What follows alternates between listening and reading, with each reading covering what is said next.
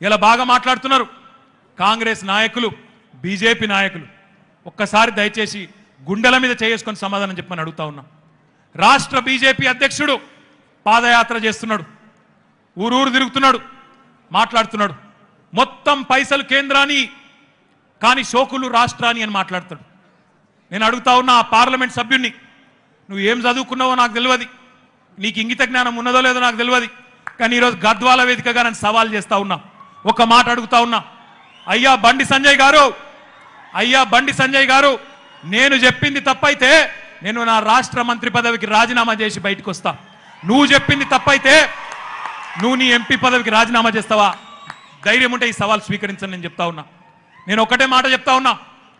గత ఏడు సంవత్సరాలుగా గత ఏడు సంవత్సరాలుగా తెలంగాణ ప్రజలుగా మనందరం కూడా నాలుగు కోట్ల మందిమి తెల్లారు లేస్తే పేస్ట్ వాడతాం.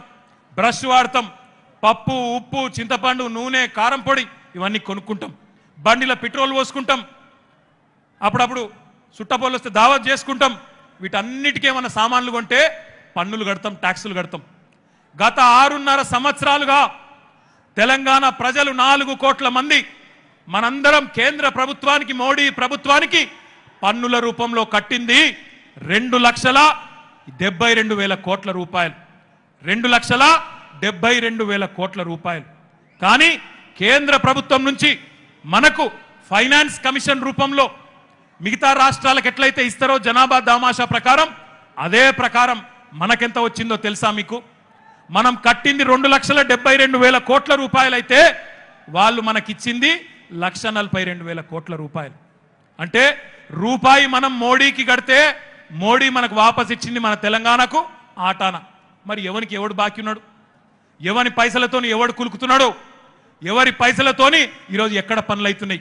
మీ దిక్కుమాలిన ఉత్తరప్రదేశ్లో మీ దిక్కుమాలిన ఇతర రాష్ట్రాల్లో వెనుకబడ్డ రాష్ట్రాల్లో మా తెలంగాణ ప్రజల చెమట తెలంగాణ ప్రజల రక్తం అక్కడ ఉన్నది మా పైసలు అక్కడికి పోతున్నాయి తప్ప మీరిచ్చింది ఏమీ లేదు. మీరిచ్చింది ఏమీ కూడా లేదు.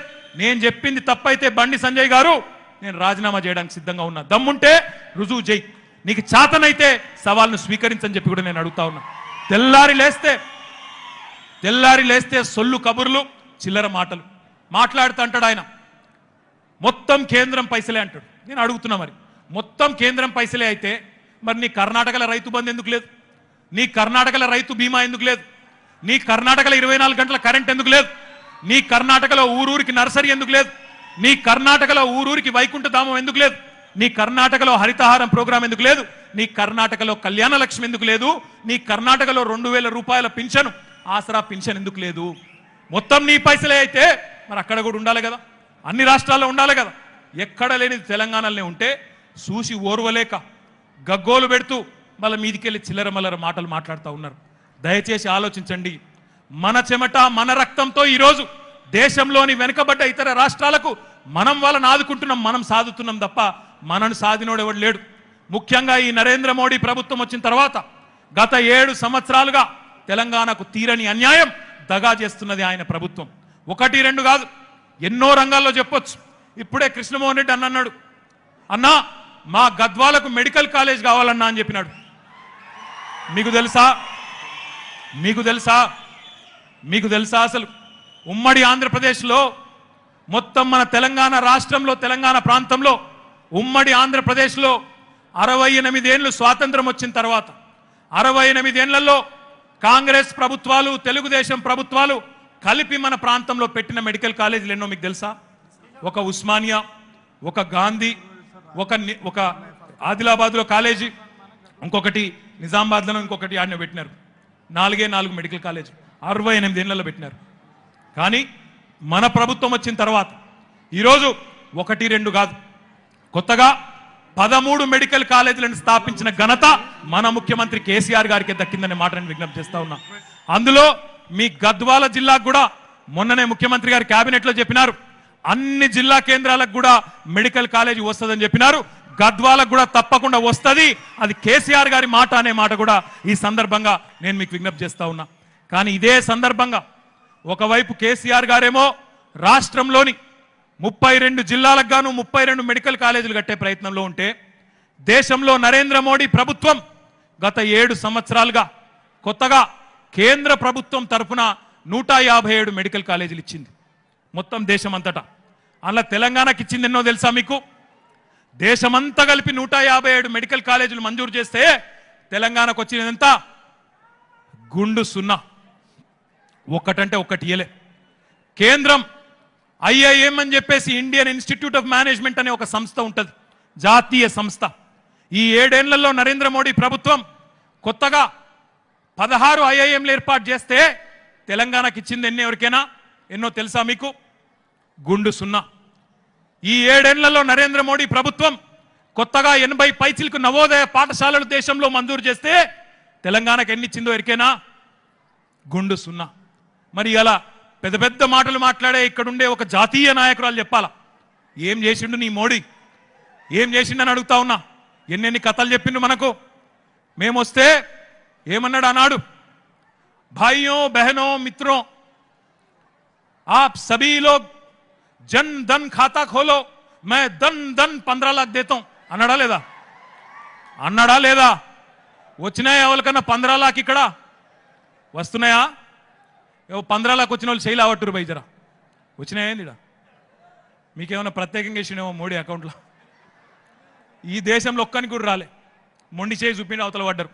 నల్లధనం తెస్తామన్నారు. ఏడాడికెళ్ళో పట్టుకొస్తామన్నా అన్నాడు. ఇంతవరకు నల్లధనం లేదు ఉన్నధనమే ఆయనతో పోయే పరిస్థితున్నది ఇవాళ వాళ్ళు మాట్లాడతారు.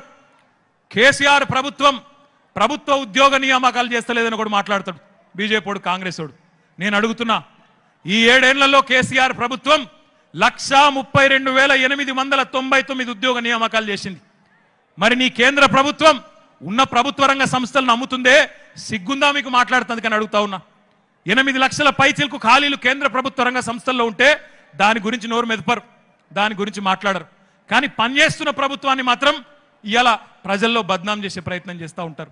ఏమన్నారు మోడీ గారు అన్నాడు కేంద్రంలో అధికారంలోకి వచ్చేటందుకు मैं हर एक साल दो दो लाख हमारे युवा को रोजगार देता हूं అన్నాడు రెండు దో దో లాక్ దో దో కరోడ్ రెండు కోట్ల మందికి ఉద్యోగాలు ఇస్తా ప్రతి సంవత్సరం అన్నాడు మోడీ గారు మరి ఏడేళ్ళు అయింది ఎన్ని కోట్ల ఉద్యోగాలు రావాలి ఏడు రెండులు ఎంత పద్నాలుగు కోట్ల ఉద్యోగాలు రావాలి మరి అడుగుదామా డీకే అరుణ గారిని మోడీ గారిని ఎక్కడ పోయినాయి నీ పద్నాలుగు కోట్ల ఉద్యోగాలని అందుకే వచ్చేటప్పుడు మా నిరంజన్ రెడ్డి అంకుల్ చెప్తున్నాడు వీళ్ళ వ్యవహారం ఎట్లుంది అంటే వీళ్ళ వ్యవహారం ఎట్లుంది అంటే బాత్ కరోడోమే కామ్ పకోడోమే పన్ మాటలేమో కోట్లల్లో చెప్తారు మోడీ గారిని పోయి ఇంటర్వ్యూ చేసిండు ఒక ఆయన విలేకరి సార్ మరి నువ్వు కోట్లల్లో ఉద్యోగాలు ఇస్తానో కదా ఏడవైనా కోట్ల ఉద్యోగాలని ఏమన్నాడు తెలుసా మోడీ గారు अब आप गदवाल जाते हो वहां पे एक कोर्ट है कोर्ट के सामने एक बच्चा अपना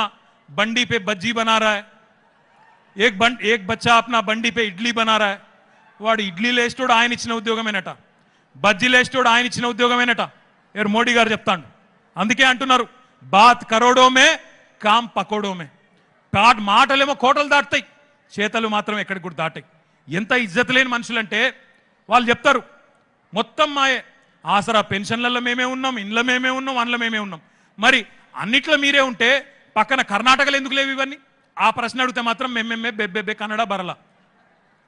అందుకే నేను అంటా ఉన్నా దయచేసి ఆలోచించండి మిత్రులారా.